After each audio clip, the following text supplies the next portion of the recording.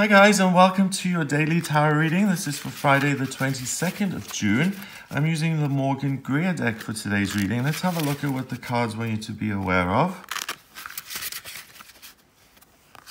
We have the Queen of Rods, the Six of Pentacles again, and the Star. Now the Queen of Rods is a court card. Rods is wands or uh, staves, and it is the element of fire. You can see that there are leaves growing out of this rod, and it's something that has life in it, and it's growing, and it's transforming itself into something that it's ultimately going to be, like a big tree somewhere. Uh, she's holding a sunflower always after the sun, always after positivity. You can see the yellow in the card. This is a happy woman. She's living her life purpose. She's creative. She's happy about what she's doing and she feels safe and protected. And she's not just um, an artist or, you know, a wandering minstrel or something. She's a queen. She's been recognized by the society that she uh, lives in and she has been celebrated by that society. That's why she's the queen and she's well known for her accomplishments. So she's, you know, she's worked her way up to this position of power and influence that she's got. And it's through really being authentic and true to herself and just wanting to spread a little joy in the world. Something as innocent as that, I want to spread a little joy in the world, can turn into a massive movement because a little joy is really what everyone needs and will always be receptive to. The next card is so if you're a um, creative person, if you're a writer, if you're an artist, a painter, uh, an illustrator, a singer, a musician, a performer, a dancer, this is your day. The Queen of Rods is your patron, patron saint, so to speak. She is overseeing all of these creative, expressive things that you're doing. So you're going to be blessed in all those areas. The Six of Pentacles is the ups and down card. Um, it's you can see the scales here. We've had this card recently, and there's something about finding balance within your own life.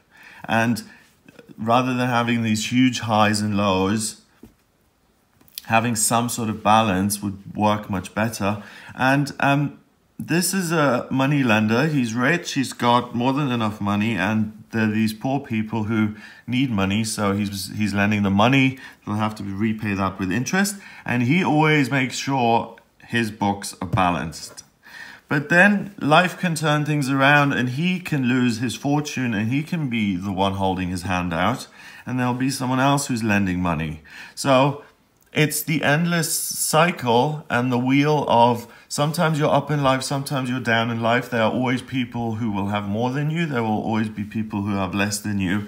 And it's this it's this cycle that's really you can that becomes very apparent when you look at money. It also becomes very apparent when you look at uh, class or socio-economic things. It's it it's a very defining thing in our culture in our world but it's basically just an energy and it's something that we've constructed. Money is just an energy you, we exchange for goods.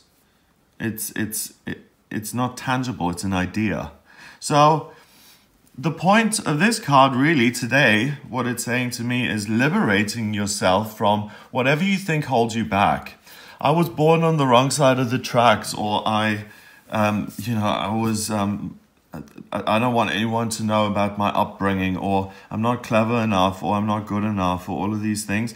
You have an opportunity here today to really add riches to your life, to really get yourself to a position of being up, being successful, being up there by using your creativity. And rather than worrying about, will this book be a failure or is everyone going to hate this painting? No one, no one is ever going to buy my greetings cards so I might as well not bother. You know, that kind of attitude, the non-constructive attitude will never get you anywhere. And sometimes, despite meditating and trying to maintain a constructive frame of mind, sometimes we're still negative and we can't just kick ourselves out of that zone. But today you're not in that zone. You've got the Queen of Rods with you. And the Queen of Rods says, let's get busy, let's get to work, and let's have some fun doing this creative stuff. Because this is what I'm born to do. This is my life purpose. And this is what fills me with energy and power and life and joy and opportunity. So there's something likely that you can create today in a tangible physical sense, and that is going to have a positive effect on your finances. Finally, we have the star. The star is a major arcana card. So this is a court card and this is a minor arcana card. So these are temporary kind of influences. The major arcana cards are much heavier, more significant themes. So this is really the theme of the day and these two cards qualify this big theme. The star is uh, hope for the future. It's being vulnerable and honest with yourself letting go of the pain of the past and accepting the pain of the past, I think. You know, we all have um, certain, some of us have dreams in life and they all, all come true. Um, other people have millions of dreams and none of them ever come true. And most of us are somewhere in the middle. Some, you know, some areas of our life work and other areas of our lives don't work.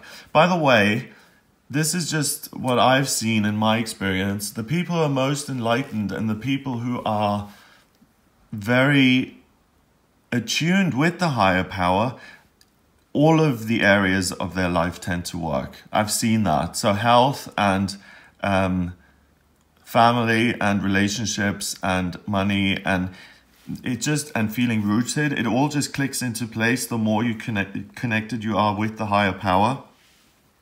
So by letting go of the things that hurt us or that haven't worked, for instance, I'm no good at relationships or I'm no good at making money.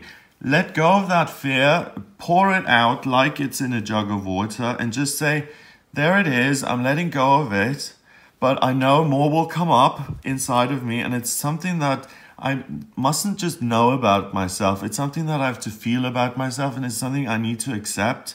And I really need to get authentic with myself and accept that there are certain things about me which are not conducive to my own happiness. I have to accept that there are certain things in all of our personalities that make us difficult in some way.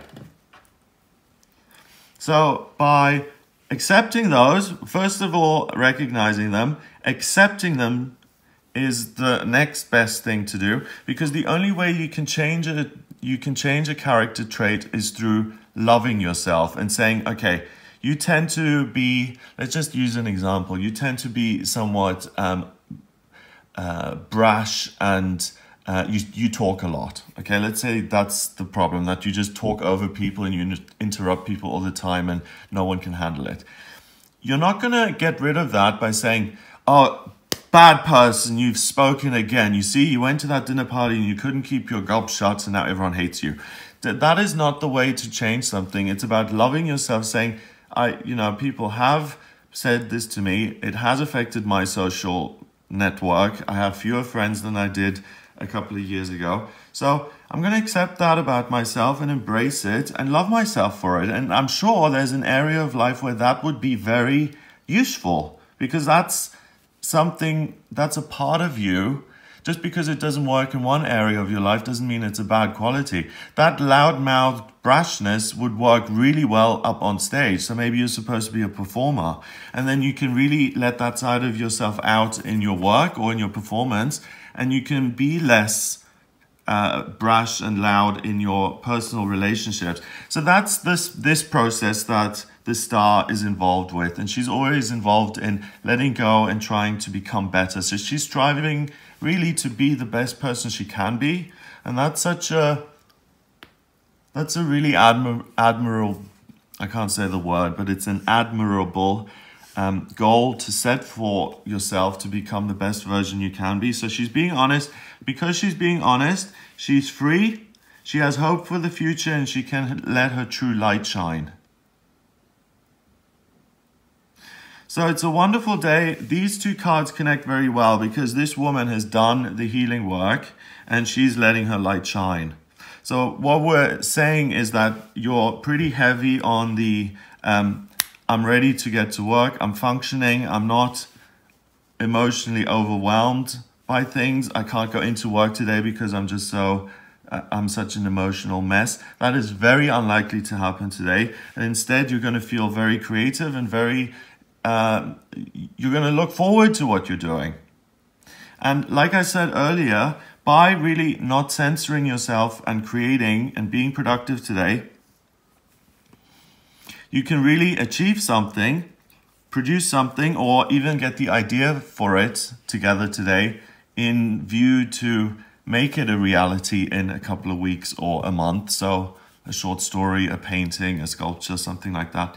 Uh, then that's going to help you in terms of your uh, physical situation. The other gift here today that you've got is you've got the ability to heal yourself and to heal other people. So we've had this watery energy uh, for a lot of the week, and the veil is kind of thin at the moment between the other side and, and the real physical world. So if you're a healer, a Reiki healer, a pranic healer, a, a doctor or a nurse or a physician or um, someone who does communicative healing. So if you're an intuitive reader or a medium or a clairvoyant, you'll really be able to tune into the watery side of yourself. You'll see the problems, but you can either look to resolve those and heal those in yourself, or you can dive down past them and really get to the inspirational, you know, um, higher purpose kind of realm where all knowledge is available to you. And that's a better way of doing it because if you ask the universe to help you in the healing process, it's going to be much quicker and more effective. One and six is seven.